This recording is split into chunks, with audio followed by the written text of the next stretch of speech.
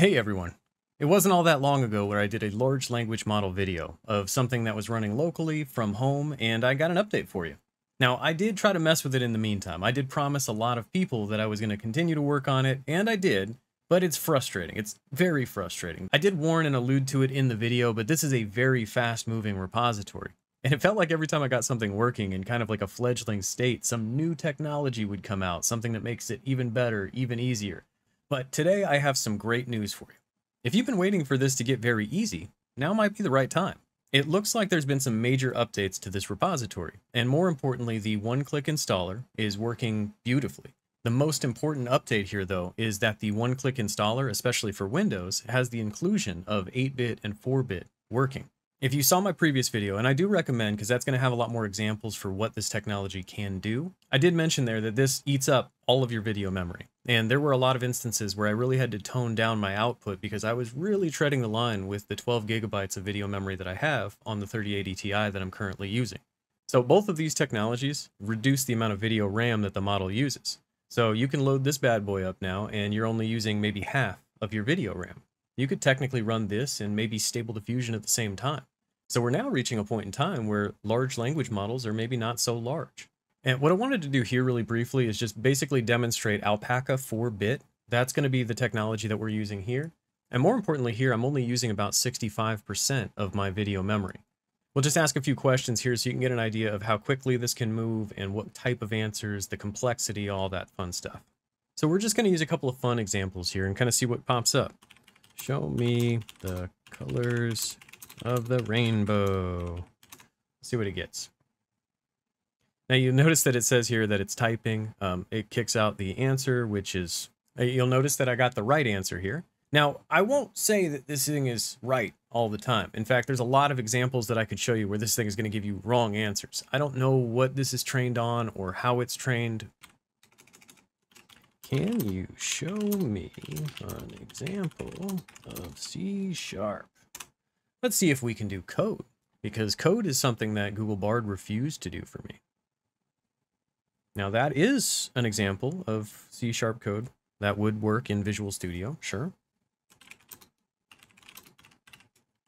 Let's see if I can do Java.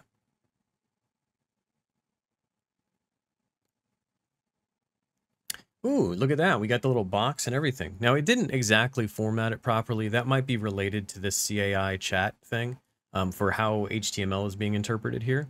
But it does look like it actually formulated, it made a class, it made a function. It's not amazing, but it is something more than what we had before. And it is certainly the smartest large language model that I've been able to run locally at this point. But again, more impressively, I'm using half the video RAM that I was able to use before. So being able to run this concurrently with other things at the same time, that's part of the excitement here. So you want to scroll down on the main GitHub page to the installation section, and you can go ahead and download the installer here. Once you extract everything into a directory, you just simply want to run this install file. It's a very lengthy process after you've selected your video card, but it's going to basically go through all of these files. You end up with the same files that you started with, plus a couple of folders. The installer files folder is most of the stuff that's being downloaded here, and then the entire GitHub repository is going to be downloaded in its own separate folder. And if you messed with this before, if you played with it with Conda or anything like that, that folder structure should be familiar to you at least. But if not, the only one that really matters is the models folder. Again, this part takes a long time. You should wait for it. But once it's done, we're going to run this download model batch file. And that gives us some options for models that we can download, and we can even type in our own.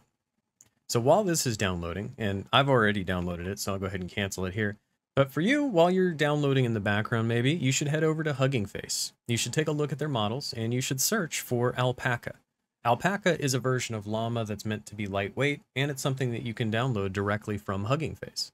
Now, at the time when I searched, I had 318 options, but the one that we're really looking for here is the native 4-bit. And for my purposes, this is the specific one that I chose. And whether or not you want to make a note of this W bits and this group size, uh, we're going to come back to that in a minute. But once your own install is finished, you just want to run this download model.bat. You can certainly feel free to pick one of these and try it out, but for our purposes, we're going to use none of the above. And you can see how it gives you the slash options. You can just type anything you want here. For our purpose, we're going to use the Hugging Face, the ozcur Alpaca 4-bit model. And you want to type it out just like this, and it's going to go ahead and download. Now, once it downloads, you're going to want to change the name of it, or at least I did, because it still had that ozcur name. So I went into the models folder and I just removed that. So I was left with alpaca-native-4-bit. And we are almost ready to go. It was that easy. The last thing that we need to do is basically set up our batch file with the appropriate commands. We want to make sure that we load into the right mode, load the right model, and all that good stuff. I know this is kind of an intense batch file, but really this is the only line here that matters. Um, everything after this server.py. So we want to do auto devices. That'll determine how much video RAM we have and split things accordingly, so hopefully you'll never run out. Now this CAI chat is depreciated. We can actually just type chat now. But it does work just like this. For the model, of course, we're going to use that alpaca name that we just popped in there. Then we see this W bits of 4, just like we saw on the website. The group size of 128, just like we saw on the website. Those are telling the WebUI program how to quantize the model. No stream is maybe a little bit of a personal choice, but that gives you the assistant is typing and then everything pops up at once. If you don't include this option, you're going to see the words kind of pop out one at a time. It's a little bit slower though if you do it that way. So that's up to you, but this is definitely the faster way of doing things. But once you have all of that running, you should be able to just start the web UI. You'll notice that we did get the message about CAI chat being depreciated, but it does work. It loads the Alpaca native model, and it's done. And as soon as it is done, you can go ahead and go right into the web UI. I think it's kind of cool that it holds on to the last piece of your conversation, but if you do want to clear it out, you can do that as this web UI continues to get built up, we're seeing different tabs and things like that pop up here at the top. So you've got a character tab, parameters, training. You can actually make your own LoRA. So coming up real soon in a future video, we'll make our own chatbot with our own training material. And that'll all start right here. But this repository continues to get updated, sometimes what seems like hourly.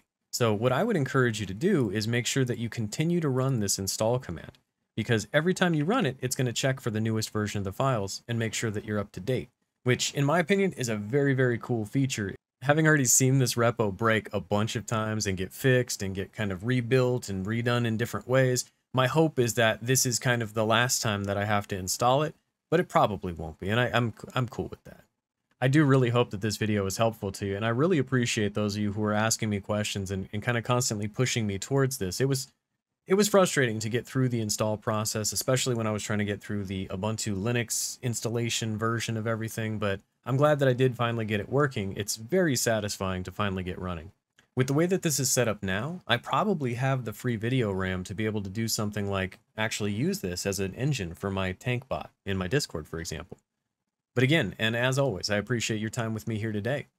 Thanks for watching.